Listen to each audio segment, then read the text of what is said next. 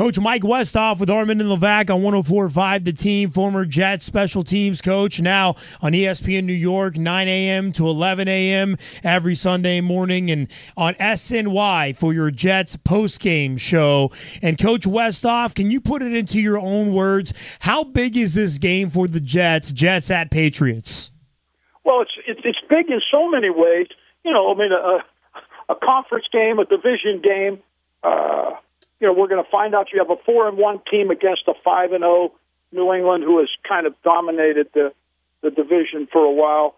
And now we're going to find out because this is Todd Bowles' his first year with a brand new team. You know, I, I, I'm one for throwing out history uh, because every team's different, and so many guys that are in that locker room um, know only of this rivalry by reputation.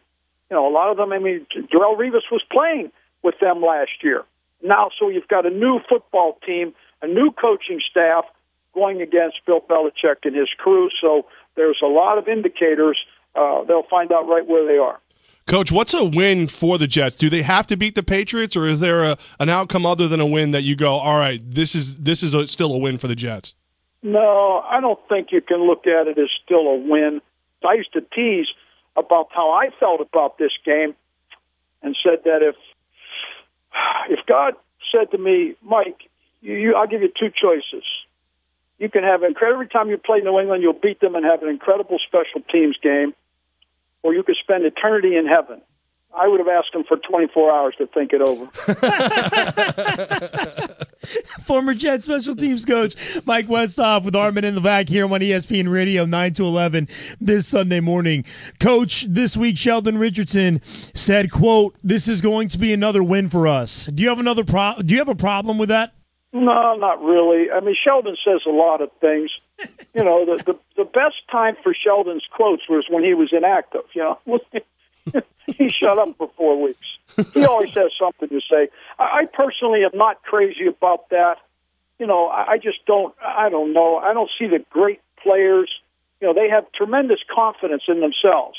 They know they can win, but there are so many moving parts to these games that sometimes I think you're better off with just talking about how you want to play and not to guarantee things. I mean, he's only been back for a week. You know, make a few plays first you know, then have something to say. So frankly, he he always gives you something to talk about. Unfortunately, it's not always at the top of the list. Coach, we've got uh, fullback Tommy Bohannon coming up in a little while, and we're going to ask him this too. But as you look at it, how is Jets Pats week different without Rex Ryan as the Jets head coach? Everybody's different. It's just different. Their personalities are different. How they handle things are differently. Rex did a lot of good things. That they weren't all good. They really weren't.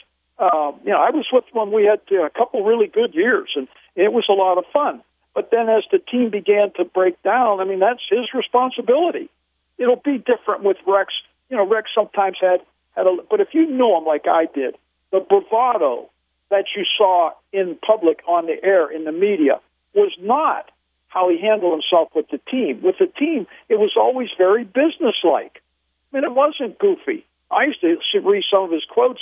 I think, what the heck? Who said that? That's not the guy I was with all week. Rex has got his own problems. The New York Jets are a different team under a different coach. Yep. Amen to that. So this weekend, Coach Mike Westhoff with Armen and Levack on 104.5 The Team. Catch Coach Westhoff on SNY post game Jets Patriots one o'clock kick. What's the key to this game, Coach? I'm really going to be really interested to see how Bowles – who really plays basically one defense. Now, lots of variations of it, but it's a 46, four defensive linemen, six DBs, and some form of man to man coverage. Now, against New England, that man to man coverage can be a recipe for disaster. Could they run that shallow underneath crossing routes and pick off your man to man better than anybody in football maybe has ever done it?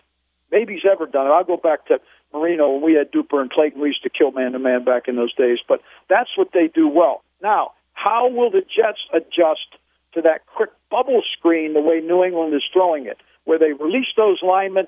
Brady gets rid of the ball lightning fast, and I mean they are on the cusp of being illegal every time with it, but they're pulling it off. How will they adjust to that?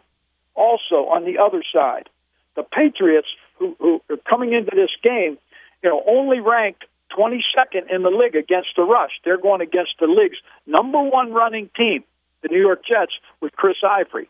How are they going to stop the run? I think they'll put eight guys in the box early. How will the Jets attack that? Those are the keys, the key matchups that I think will determine this game right there. Those types of things, and they have to do some things to straighten some special teams messes that they've had. You know, you can't win with ten guys on the field now. You got to straighten that junk out. But very interesting matchups and going to be very, very, very strategic. All right, coach. So does Gang Green get it done? I think they can. I think they can. I look for it that if they're doing these things, can they rush Brady with four guys?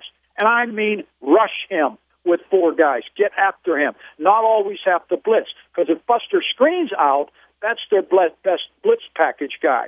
So that's a, that, that's a problem. I think they certainly can do it. Now, if they don't make these adjustments, I love the fact that they're in a good situation. I used to love to go up there knowing that that it was going to be a good close game. I always felt we could win that, and we didn't always certainly, but we did win our share. But it's it's going to be a ball, and and I think the Jets will do this.